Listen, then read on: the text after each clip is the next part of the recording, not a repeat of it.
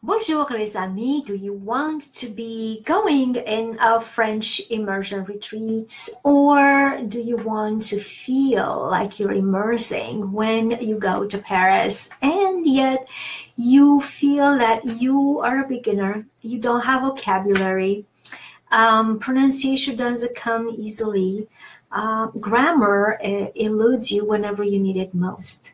I'm Llyane Stanfield, and uh, you are watching a French uh, immersion for beginners, where I am showing you eight techniques that you are not using, and that is the reason why you keep learning and relearning, or when you try to learn in the first place, it's not stick, it doesn't stick. So uh, today I'm going to share with you technique number four. And uh, in today's webinar, I pull them together. And so if you want to see how you can use them together and what comes after what and how to, you know, put them together and, and make them your own, please watch uh, the webinar that is on this uh, page. Uh, these videos don't stay on Facebook, they expire. So if you would like to have access, unlimited access to all the eight uh, videos, please click on the link in the description of this video and put yourself on the waiting list for the French Immersion Retreat. And I'm going to give you all the resources that you need to prepare for it. So today is um, technique number eight, and this has to do a lot of uh, very uh, neuroscientific uh, approach.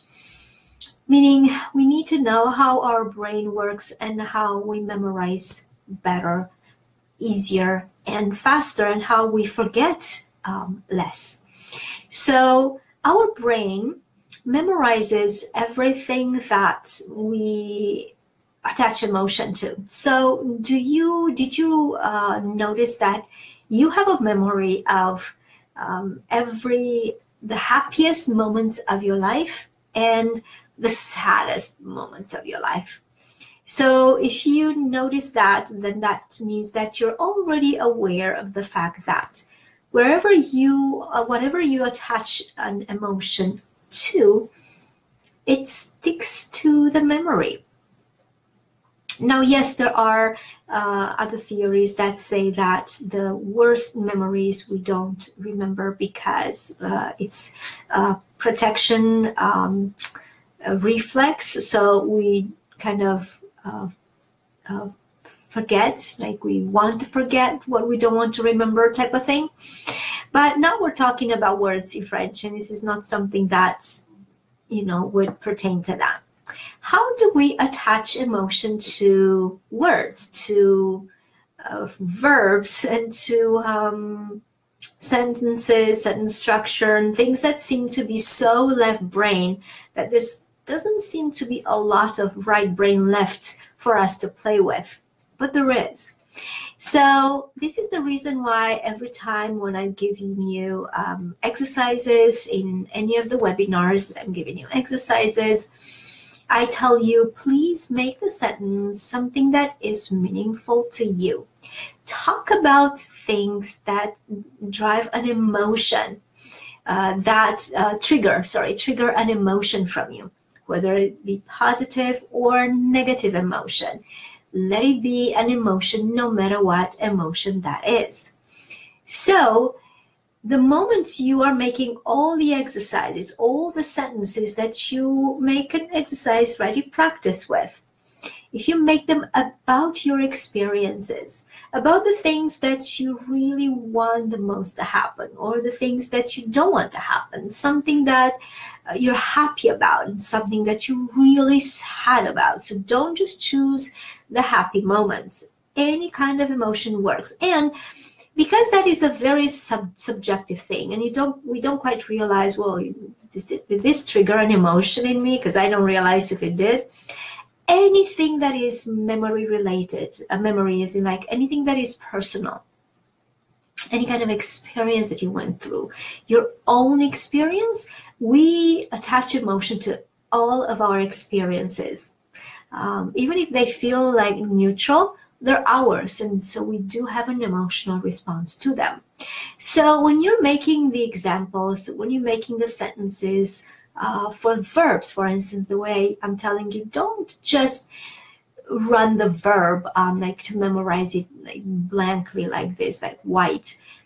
Uh, make sentences with your verbs, and that's what's going to help you memorize them the easiest, the fastest.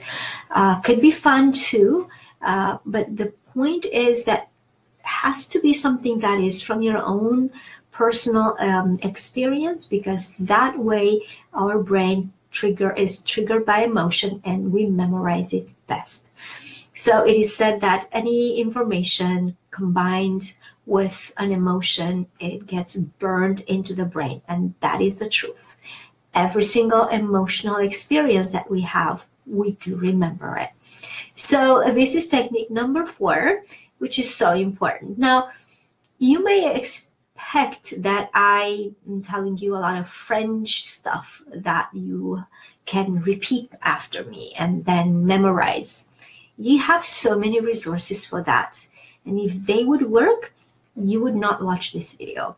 So please click on the link in the description of this video. It is the waiting list to the immersion retreat. If this is what you're looking for, just know that only if you click on that link will you have access, unlimited access to all the wait, uh, eight videos with the eight techniques that I'm sharing and I'm using inside of J'Ouellette Intensive, which is my signature program that helps you reach an advanced level of conversation and it's called intensive uh, and it's very like 100% customized to you so it can be as intensive as it works for you. So there are people who finish it in three months people who finish it in two years. That is their uh, uh, idea of an intensive work on french.